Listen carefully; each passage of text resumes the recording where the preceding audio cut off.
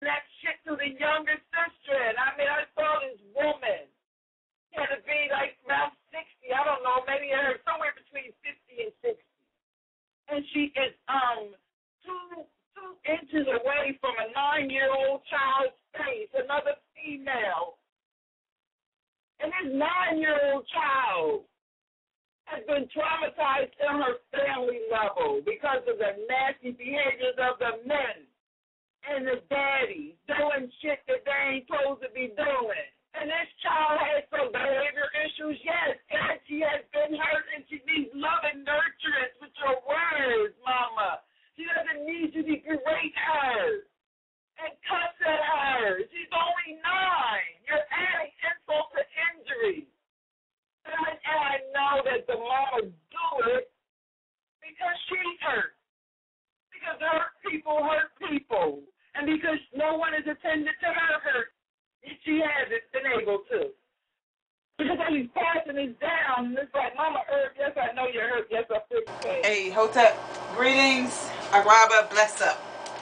Welcome back to the Recovery Room of Racism Non Anonymous with me, Sis Abana, the recovering African who is enslaved in America, Kaka, and who is a representative from the voices in the margins. This is a sort of follow up to the broadcast earlier this evening from the Recovery Room of Racism Non Anonymous on Blog Talk Radio. Um, I'm sorry that I'm not able to see um, my lighting and what it's like for you with this camera. Since there's nobody over there to center it or check the lighting, I'm doing the best I can. So at any rate, this message is um, a follow-up to the broadcast tonight where I talked about and sort of talked to um, the sisters in particular who are probably unconsciously transmitting harm to the younger sister. I shared a, an experience that I had today, earlier today, where an older woman, probably in her 50s, early 50s, was speaking with a nine-year-old female child and in her face this close because you know how you come here come here what you do come here this is what you did and what's your problem so the child comes to you they're this close to your face. And this 51 or 50 year old woman 50 some odd woman who's a grandmother you know no this woman is old enough to be she's a grandmother. Um in this child's face hollering, cursing, berating, and then telling her, shut up and don't you dare cry. And this is a nine-year-old child who has already been harmed in an unspeakable fashion, sexually abused by her daddy, no less, when she was somewhere before the age of six. So the child is going to have some behavioral problems and issues. Yet the approach to uh, attempting to teach this child how to do something different was causing, I mean, such insult and harm that it's just ridiculous. So I talked about that uh, during the broadcast and I wanted to talk about the notion of compassion and nurturance and what I recognize is many women having a difficult time demonstrating to each other, to themselves, and therefore to the children. They have no compassion for this child's experience or seemingly based on your behaviors. It's like you could say you have compassion and you have love for this child and then turn around and berate her and put her down and compare her to a three-year-old and you need to wash your ass and what is wrong with you and I don't that don't want that's not acceptable and I don't want to hear this and shut up don't you dare cry I told you that. What is your problem? I, I, I, you know, that that doesn't seem that lacks compassion because if you know the child has been harmed already, why would you harm her further? And um, if you like, I can help you understand trauma, traumatic stress, what it is, and how it works.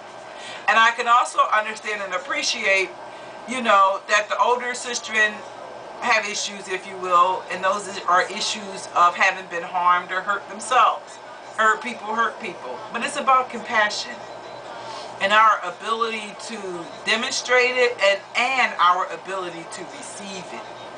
Because, you know, to be, for me, to be compassionate, it means that I, I end up nurturing. I'm working to nurture. When I recognize someone is hurt, I'm going to work to nurture them. Oh, I understand. Because when I get hurt, we take care. We take care of ourselves.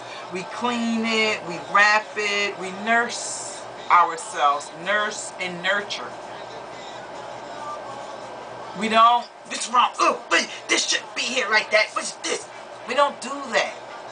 So why do it to a person's psyche and their heart, their spirit? Compassion. Learn what that is and learn to practice it and to accept it. I've worked to, when I am being myself, nurturing and compassionate, um, I find that many people, especially the adults, have a more difficult time accepting it. Children accept our nurturing. Oh, baby, what happened? Come here. They accept it. They desire it. They gravitate towards it. Adults, oh no, ain't nothing wrong with you. You need to get over it. Oh, it ain't that big of a deal. Oh, that ain't nothing. Oh, you did such a good job. Oh, it ain't nothing. You know, oh, I don't want to hear it. You know, I'm so sorry that it hurt. Eh, well, it's alright. It ain't no big deal. Oh yeah, I'm hurting, but I don't need no help. That's okay. We, we have our compassion for ourselves. And if you don't demonstrate compassion for yourself, then if it's going to be reflected in how you deal with other people. And that is what I saw as well.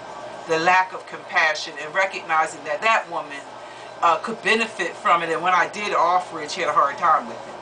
And pretty much rejected it and pretty much said she didn't want to talk to me anymore. So this is just an encouragement for, um, you know, a point of reflection in terms of knowing self, in terms of practicing a program of recovery. One of the things that I learned to look at myself is how compassionate I'm able to be with myself. Um, when I do things that I know are hurtful to myself or in some way cause harm to myself, to be compassionate and forgiving of myself and nurture myself as opposed to beating myself up. You stupid, you dumb, you this, you that. We don't, or we do do that to ourselves. People do it, and that's a problem. I work to stop doing that. Um, and I encourage other people to not do it too. But many people deny that they do it, but then it's reflected in your behaviors. So I just needed to kind of follow up with that and get that out and, you know, take another opportunity to make a video. So, hey, hi, thanks for listening to me share. Till next time, peace. And in this sin and this iniquity, shape and iniquity. I want to look up the word iniquity and, and, and break that down a little bit more in terms of how I recognize that, you know, we've been shaped in iniquity, and that iniquity is the European cultural and behavioral styles you know, and force fed in that cultural style is one that is diametrically opposed to us, to self, to me, to Mama Earth, Mama Africa, our culture. And as a result, we behave that way towards ourselves and each other. So I understand why the mothers do what they do and how they do what they do, and that particular uh, mother who functions at times as a other mother for that child I understand uh, that she's hurt, and that's why she does what she does and how she does did what she did.